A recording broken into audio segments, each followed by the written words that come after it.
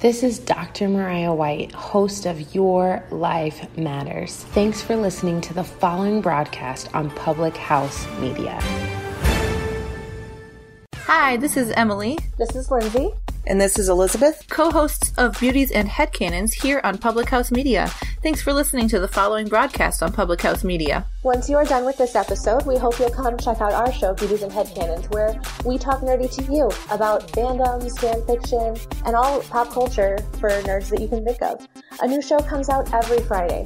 Don't forget to subscribe on iTunes so you never miss an episode of Beauties and Headcanons. Thanks again for checking out the following broadcast on Public House Media.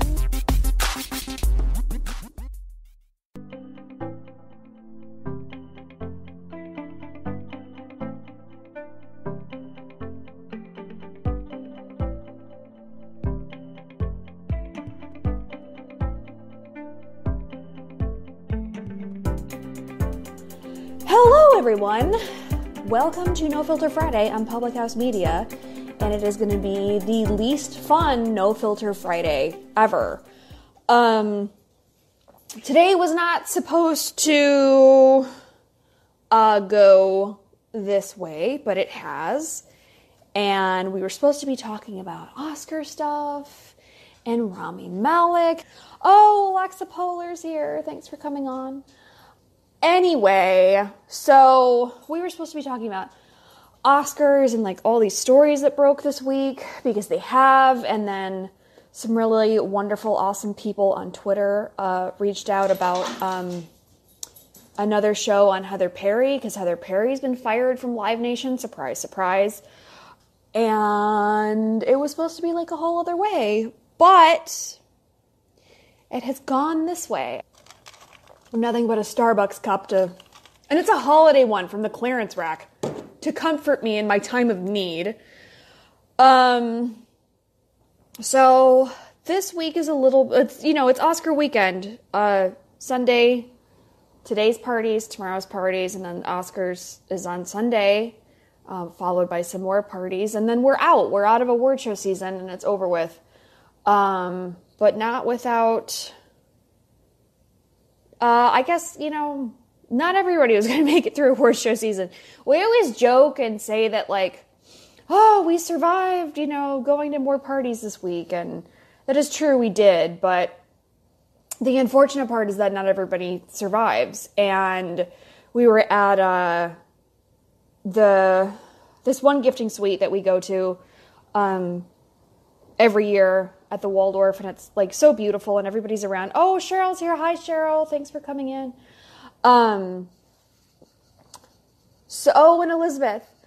Hey, uh, so we were at the Towel Gifting Suite today, which is, you know, so gorgeous and wonderful. It's at the Waldorf, and if like the Waldorf in New York is great, don't get it twisted, but the new one in Beverly Hills is beyond amazing.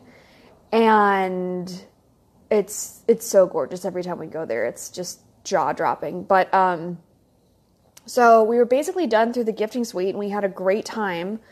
Um, and everybody was there, I pulled up, and Lunel pulled up in the uh, in the valet with me, and she's like pimping along in her new Mercedes because she's in.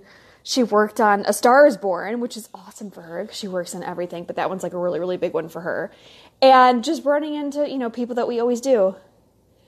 Um, yeah, go, oh gosh, go to the Waldorf. It's so amazing. And they're so nice. The staff is so nice. Um, and so we get, you know, that's like up in the ballroom. So we go get an elevator and go downstairs and we're just, you know, checking our phones like after going around and meeting everybody and doing the carpet and talking to everyone. And what I wanted to do, um, for today's was like because I was at the gifting suite with so many people was to just get little blurbs about Me Too and Oscars and then like smush it all together for a pre-tape video. And that didn't happen because we were got on our phones and the news was announced by like the Blast and TMZ that our very, very, very dear friend Brody Stevens was found in his house um, by another comic, and he hung himself. And it's just awful. Like he tweeted yesterday that he wanted to go back to like doing comedy festivals and it's just so bizarre because like Brody has done Steven's show like at least five or six times, and not just like the live show, but like he's come to like you know pre-tape because he you know he did his impression of Steve Jobs or whatever, which was hilarious and perfect and awesome. Um, but he was just always around. Like we see him every Thanksgiving when we go to the Laugh Factory. It is horrible, Cheryl. It is horrible.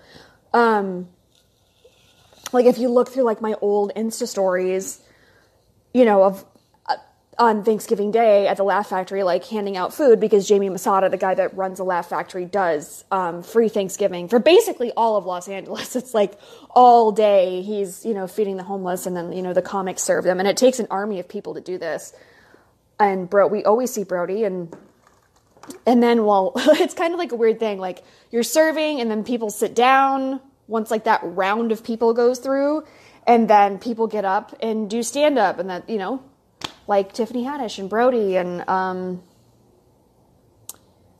it just all kinds of people that come there. Dane comes. Um, Tito Ortiz was in town this Thanksgiving, so you know he didn't necessarily do stand up because it's not really his bag, but um, he came and surfed like everybody. Everybody does. Um, and now I'm blanking on people's names because I'm distraught. But anyway, besides that's besides the point. But it's just it's so crazy to me how I can like look through my old stories and there's Brody like on Thanksgiving on like just like every year and it's it's just so it's so awful like we had Jon Schnepp you know die on us um over Comic Con this year which was like absolutely devastating and then the fact that Brody just decided to check out on us. And he's always been really, really, really open about how he's him and Zach Galifianakis did a show about how how depressed Brody is and him like flirting with killing himself. And I don't know if that whole like life imitates art thing is like completely accurate because I think it's like the other way around, basically.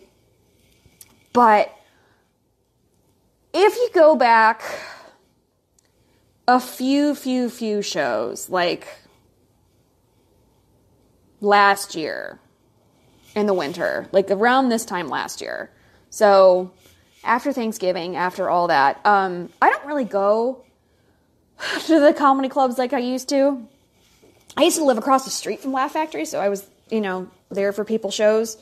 And then, like, the improv has always been like my second home since I was like 19 which is where Steven and I met. And the you know the bar that we met at is upstairs now in the green room.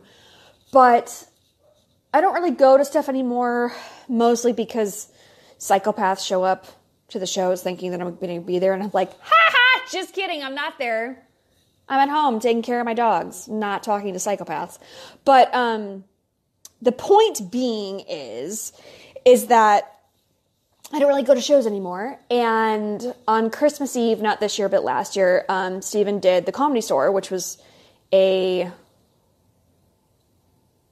show that he doesn't do very often. Um, or was it another night? I don't know. Because I, I know Brody was there on Christmas Eve, because I remember that show just clear as day.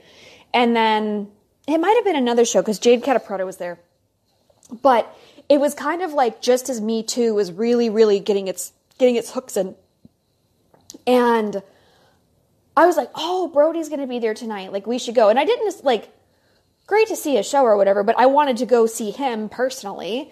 Um, so I went and I, I don't remember if Steve and I went together. I met him up there or whatever. But after the show, yeah, because Steven got up too. Everybody in, um, Bobby Lee, Bobby Lee gets up like three times a night. He like barely counts. but you know, everybody got up and it was okay. It wasn't like the best crowd ever, but we're sitting in the back. There's like a like the the comedy store has like the parking is like this big. It's like the size of your thumbnail. It fits all of like four cars back there. So we were sitting back like beyond the back patio, and Brody's sitting on the steps, and it was me and Steven, and then Jade Catta-Preta came and talked to us for a while, and I think little Esther was there. Um, I remember squeezing her into my boobs, so she must have been there. And hearing Brody talk about how, oh, my set wasn't good enough, and this wasn't good enough, and I didn't get enough good enough laughs, and I didn't get this, and I didn't get that, and it was terrible, it was garbage, it was awful, which no one agreed with ever in the history of Brody Stevens. And it's just it's which is so strange because like that's where comedy comes from. It's like telling the worst thing that's ever happened to you um without but making it laughter. Like it's kind of like that whole like laughter through tears thing. Like comedy's pain. It really really is and it's of no wonder that we lose the people that we do. And it sucks and it's terrible and it's awful and it's such a strange business to be in that makes everybody else happy, but it also attracts these broken, unhappy people as this cathartic mechanism. And it sometimes it works out and sometimes it doesn't. But apparently, according to the media and pretty much everybody in town is agreeing with it, is that he decided to take himself off of his medication a couple months ago because he felt like it dulled his creative situation. And Brody was kind of a deadpan guy, so I'm not exactly sure what his line of thinking was on that. But what's wild to me about this announcement today, because it happened at like one o'clock, um, or like just before one, and the news broke at one. But I guess uh, my biggest takeaway from it is that I've always walked, and Stephen too. I've always walked around in the way that, like, if I'm feeling some type of way of something, and be like, that's it, you got it. And if you just do Brody Stevens' voice in your mind, or preferably out loud, you will make yourself in a better mood. And it is so terrible that his own voice didn't do that for him. And Stephen and I were talking in the car because I had to go get um, my eyelashes done. Not that you can, you know, if you're a podcast listener, you can't really appreciate these lashes. I mean, look at this. Um, and you know, Stephen was like, "Well, you know, everybody, everybody loved Brody, which is hundred percent true. Look at the internet; people are just crushed." Ow, Tiara's here. Hello, Tiara. Um, crushed that he has decided to leave us, and it was like, well, you know, so it was like everybody loved Brody, everybody loved him, and I th- that's hundred percent true.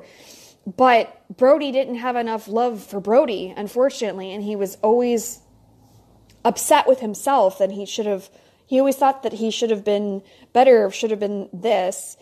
And it's just not really um it was better. Like it was just a complete disconnect in his, you know, in his psyche, which is so incredibly awful, but it's like it's like a death week, man. Like the beginning of the week it was Karl Lagerfeld and that was a horrible thing for me. I had to go coat myself in as much Fendi and Chanel as I could find and some, you know, just regular Karl Lagerfeld stuff. And then I had to go to Rodeo and go visit the mothership and talk to the salespeople. And I went into Chanel and it was like business as usual, but everybody felt super weird and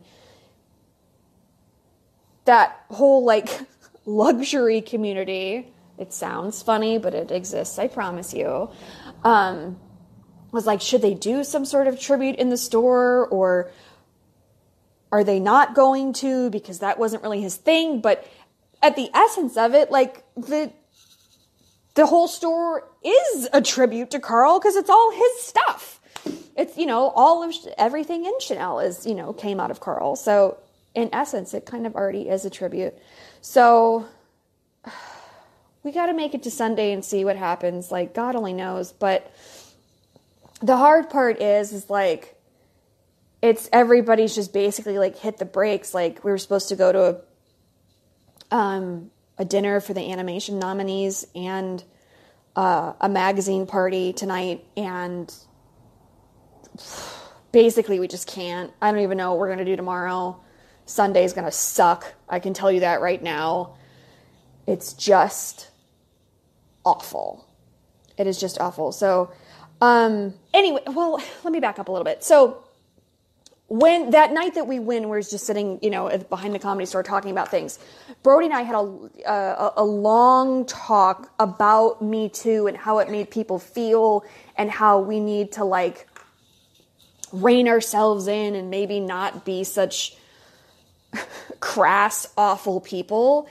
And I think that's true with or without me too. Like we all, especially in LA, like in Hollywood in general, is like it's a mean place. Like we're all like, ah, like that's oh, you're not nominated for an Oscar this year? Oh my god, like what are you doing in here? And that's literally conversations that I have heard this week, the week before, the week before that, the week before that, and you know, up until basically the first of the year, essentially, like everybody's like, oh, but you're in this party, like why? Like you're not nominated this year or oh, you're only nominated for this or blah like it's it's it's grimy. Is it trying to escape? That's my Tara Reid nipple. It just jumps out at people. I, I apologize. But thank you for uh thank you for keeping an eye on my tatas. I'm wearing like this is how disheveled I am, okay? Robe for sure, as always, but the reason I'm wearing a robe is because I have a jumpsuit on and I had to go to the bathroom, so I took off the top half of it, and I am so distraught that I can't even put the top on. So I just like it's zebra robe night, y'all. It's not even not even the good one. Oh, Jason is here. Thanks for coming in. Um it's rough. I don't even know how the rest of this weekend is going to go, but on a happier note, if there are any, there's basically not. But if there, David Bobke, hashtag Tara Reid nipple, there's a tag for this episode. Tag away. Tag away. I mean, it's not, uh, unfortunately, it's not just this episode. It's like been my whole life. Like, I'll just be walking through Ralph's trying to buy chili and Triscuits, and out it goes. It's a wonder I haven't been arrested yet, honestly, at the behest of my right nipple. Sorry, kids. I try. I really do try to rein it in. I swear to God. It's just physically demanding to do so. Uh, but oh, John McKenzie. Hi, John McKenzie. Um, it sucks, y'all. It absolutely sucks. I had so many things that I pl- I planned that I wanted to do for this episode, but it's just not happening. So maybe I'll do like a bonus episode this week or something. Uh, on top of our other little fun, happy thing. Uh, after the Oscars is over, we're getting into Paley Fest and I and the show, I for No Filter Friday on Public House Media, I'm going to cover um, a Paley event that is. If you don't know what the Paley Television Festival is, go Google it. It's really, really awesome. But most of the time, it's um, current shows that are going, or like really, really iconic shows that have like a screening, a carpet, a screening, and then a Q and A or a panel. Blah blah blah blah blah blah blah. Um, but for this one that I'm covering is for um, a singer who was in the Supremes, and she's like an OG. She's an OG singer, and I get to go. I'm not covering the carpet. I'm actually going into the event, and I get to ask um, questions from, you know, from the the media pit. It's not really a pit. It's like reserve seating, but still, uh, I get to ask questions from that of this lady who was, you know, I'm from Detroit. Supremes were Motown, and um, she's been around for you know ever, and she's seen things move and change. And I'm really curious to see um, what she thinks about how, because uh, she's seen so many changes in the industry. Um, what Me Too is doing with you know how things are going to come out. Because in beauty, they always say that like you know when in doubt, kick it old school. break out break out the aluminum uh, curlers because they work. Old school works. So she's about as old school as it gets um, for uh, for you know being a lady in uh, the entertainment industry. So I'm really excited to ask her questions that I'm formulating by myself. But if you have questions that you want me to ask an, an original Supreme, uh, send them to my inbox. And thanks, I've been getting a lot of uh, No Filter Friday, not me, I should say that. No Filter Friday has been getting quite a bit of uh, of Twitter love in the past couple weeks, which has been really cool. So thank you for that. Um, that's it. This, I mean, this episode sucks. It just does because today sucks, and it, con- and it will continue to suck for until at least the rest of the weekend, and hopefully. Um, we don't lose anybody else this week because Karl, Brody, I can't. I'm out. I was tapped out from Karl, and now I'm on like another stratosphere of tapped out from Brody Stevens, deciding to depart us. So I will see you all next week. Maybe I'll do a um, maybe I'll do a bonus episode or something um, for like Oscar coverage, like when I can get my mind and my right nipple all packaged up together and making sense. So I will see you all uh, next week at the very latest. Maybe we'll do a bonus episode from the Paley Fest, but I will see you later.